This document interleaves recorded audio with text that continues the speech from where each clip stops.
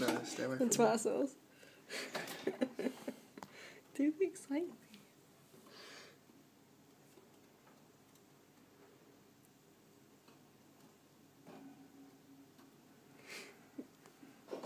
Alright, just panicking.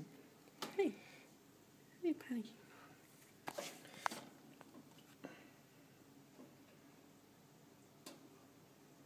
She just wants to go on that plate and eat the tomato sauce.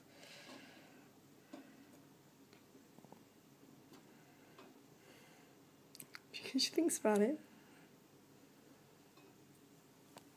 It's alright.